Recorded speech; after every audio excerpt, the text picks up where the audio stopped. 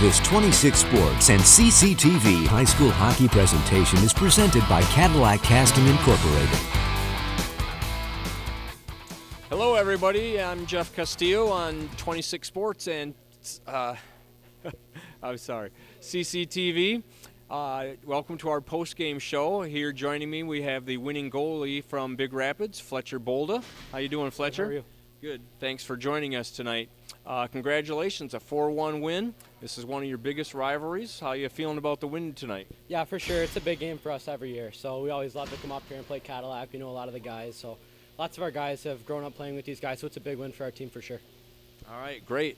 Uh, so how are you feeling tonight about the play from your uh, defense and your forwards in front of you tonight? They gave you pretty good support. Yeah, yeah, for sure. It was a, it was a good game for us defensively tonight. We took a lot of steps this week in practice, coming off a couple rough defensive games. So tonight, for us to take that step and play well defensively was huge. It was a good game for us.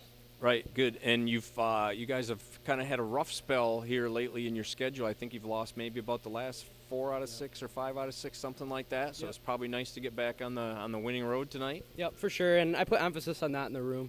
Told guys, you know, we're on a bit of a drought here, so it's huge for us to get this win and get back on track. So it's a great feeling for our team right now. All right, and obviously you're one of the senior leaders on your team uh, and playing real good tonight. So it was good to see that.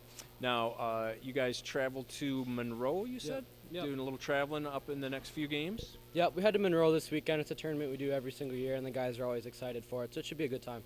Okay. And now, how long have you been playing hockey? Been playing all your life, or Oh, geez, yeah, I've been playing since I was about five, but I haven't been playing goalie for a while. I mean, I started when I was maybe 10, 11, so. okay? So you're probably one of those where the team didn't have a goalie and somebody had to step up and uh, get the Yeah, equipment it's, and it's play. One of those things, you know, you just get your rotation, you make the most of it, and it kind of stuck. So.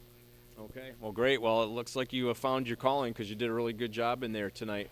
Hey, thanks for being with us tonight. Appreciate it, and congratulations Hey, on thank your you. win. Appreciate it. Thanks. Thanks All for right. having me. Okay, that should wrap things up here from the Wex and Cadillac tonight. Our final score the Big Rapids Cardinals 4 and the Cadillac Vikings 1.